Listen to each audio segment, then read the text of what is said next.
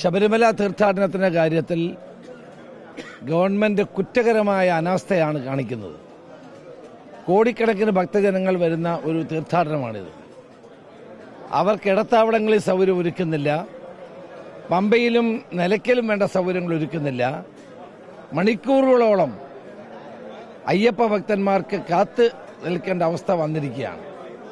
പത്തും ഇരുപതും പതിനെട്ടും ഇരുപതും മണിക്കൂറിന് ക്യൂ നിൽക്കേണ്ട അവസ്ഥയാണ് പലയിടത്തുമുള്ളത്.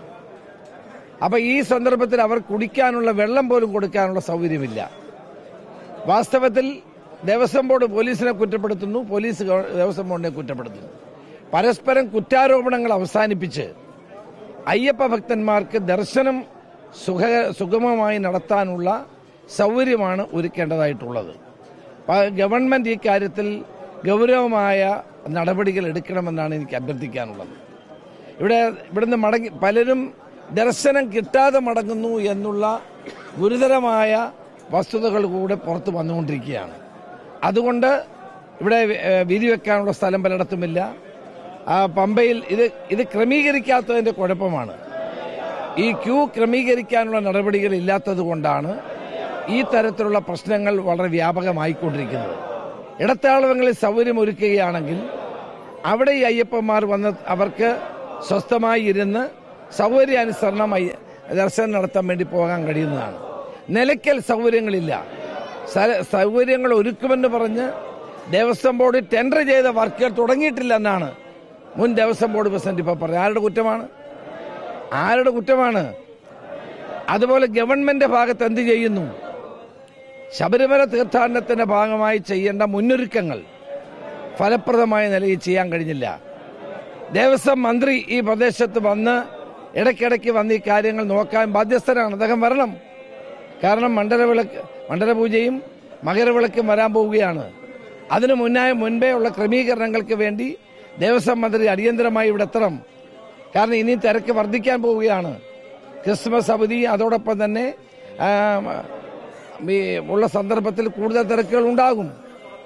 അപ്പൊ ഇതിന് ഗവൺമെന്റ് അടിയന്തരമായി ദേവസ്വം മന്ത്രി സ്ഥലത്തെത്തി ഇത്തരം കാര്യങ്ങൾ ചെയ്യേണ്ടതായിട്ടുണ്ട്. വിരി വെക്കാൻ പോലും അയ്യപ്പന്മാർക്ക് സ്ഥലമില്ലെന്നുള്ള പരാതിയുണ്ട്. കുട്ടികളെ കൊണ്ടുവരുന്ന അയ്യപ്പ ഭക്തന്മാർ പതിനെട്ടും പത്തൊൻപതും മണിക്കൂർ നേരം ക്യൂവിൽ നിൽക്കേണ്ടി വരുന്ന അവസ്ഥ ഒന്ന് ആലോചിച്ചു നോക്കുക. പിന്നെ പരിചയസമ്പന്നന്മാരായ പോലീസ് ഉദ്യോഗസ്ഥന്മാരുണ്ട്. എല്ലാ കാലത്തും അവരാണ് ഈ അയ്യപ്പ ദർശനത്തിന് വേണ്ടിയുള്ള സൗകര്യം ഒരുക്കുന്നത് അവരില്ലെന്ന് പറയുന്നു. മതിയായ പോലീസില്ല എന്ന് പറയുന്നു. അപ്പം ദേവസ്വം ബോർഡും പോലീസും തമ്മിലുള്ള ശീതസമരവും ഇത്തരത്തിലുള്ള പ്രശ്നങ്ങൾ രൂക്ഷമാക്കാൻ സഹായിക്കുന്നുവെന്നാണ് ഞങ്ങൾക്ക് മനസ്സിലാക്കാൻ കഴിഞ്ഞിട്ടുള്ളത്. അതുകൊണ്ട് ദേവസ്വം മന്ത്രി അടിയന്തരമായി ഇവിടെ എത്തണം എത്തി പ്രശ്നങ്ങൾ പരിഹരിക്കണം. ദേവസ്വം ബോർഡും പോലീസും ഗവൺമെന്റ് വിവിധ ഡിപ്പാർട്ട്മെന്റുകൾ ഒരുമിച്ച് നിന്നുകൊണ്ട് മണ്ഡലവിളക്കിനും മകര വിളക്കിനും വേണ്ടിയിട്ടുള്ള കാര്യങ്ങൾ അടിയന്തരമായി ചെയ്യാൻ ശ്രദ്ധിക്കണം എന്നാണ് പറയാനുള്ളത്. ഞങ്ങളിത് കാണാൻ വേണ്ടി ഇവിടെ വന്നതാണ്. ഇവിടുത്തെ സ്ഥിതിഗതികൾ എന്താണ് എന്ന് ചോദിച്ച് മനസ്സിലാക്കാൻ വേണ്ടി വന്നതാണ്.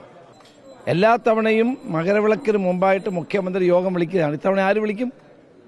അത് അറിയേണ്ട കാര്യമല്ലേ? അപ്പം ഇതിന് ഗൗരവം ഇതിന്റെ ഗൗരവം ഉൾക്കൊണ്ടുകൊണ്ട് പ്രവർത്തിക്കാൻ മുഖ്യമന്ത്രി തയ്യാറാകുന്നില്ല. ശബരിമലയോടുള്ള അദ്ദേഹത്തിന്റെ അലർജി ഇപ്പോഴും നിലനിൽക്കുകയാണെന്നാണ് എന്റെ വിശ്വാസം. അല്ലായിരുന്നെങ്കിൽ ഈ തീർത്ഥാടനം ഇത്രയും വലിയ ഒരു അവതാളത്തിലെത്തിക്കാൻ ഒരു ഗവൺമെന്റ് ശ്രമിക്കില്ല. ഇവിടെ ശബരിമല തീർത്ഥാടകരോടുള്ള അനാദരവും അവരോടുള്ള അവഗണനയും ഈ സർക്കാർ തുടരുകയാണ്. ശബരിമലയോടുള്ള ഗവൺമെന്റിന്റെ അലർജിയുടെ ഭാഗമായിട്ടാണ് ഇത് തുടരുന്നത്. ഇത് അവസാനിപ്പിച്ച് മുഖ്യമന്ത്രിയും മന്ത്രിമാരും ഈ കാര്യത്തിൽ സത്വര ശ്രദ്ധ പതിപ്പിക്കണമെന്നാണ് കാരണം മറ്റ് സംസ്ഥാനങ്ങളിൽ നിന്നാണ് കൂടുതൽ ആളുകൾ ഇപ്പോൾ വരുന്നത്. മൂന്ന് മൂന്ന് നാല് കോടി ആളുകൾ വരുന്ന തീർത്ഥാടനമാണ്. ആ ഗൗരവം കാണിക്കുന്ന ആണ് ഞങ്ങൾക്ക് അഭ്യർത്ഥിക്കാനുള്ളത്